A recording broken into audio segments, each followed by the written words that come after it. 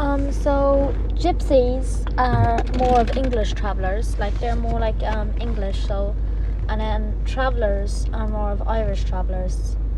If that makes sense. But then like you can get mixed. Like my friend Kelly Marie, her mummy is an Irish traveler and her daddy is an English traveler.